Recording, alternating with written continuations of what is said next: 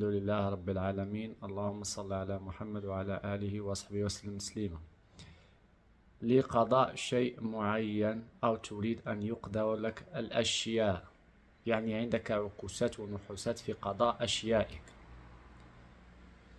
أنت مقبل على السفر أوراق بيع وشراء. عندك مثلا منزل تريد أن يباع. أه حتى لتيسير الزواج. ممكن تفعل هذه الطريقة. أه تريد أن تشفى من مرض. أه ممكن ت... لأن لقضاء الشيء. أو قضاء الشيء أي شيء. الشفاء من مرض. جلب الرزق مثلا. ممكن أن تقرأها بنية جلب الرزق. قضاء الشيء. إيجاد العمل.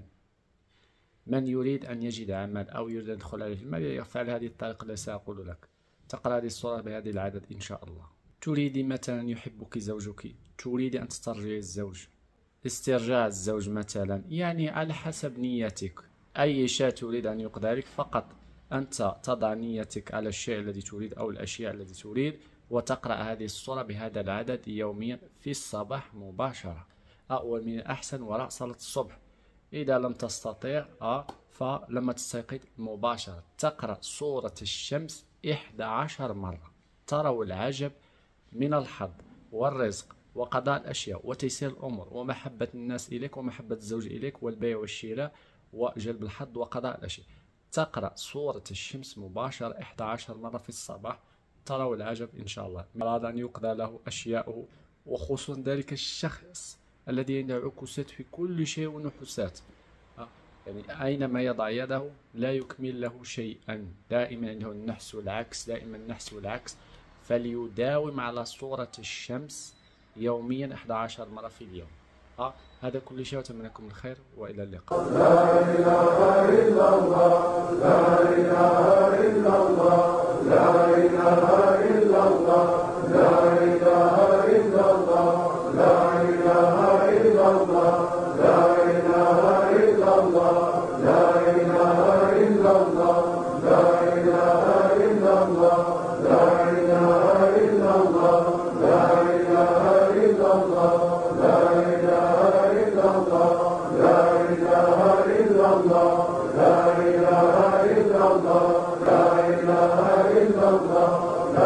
ilaha illallah, la ilaha illallah, la ilaha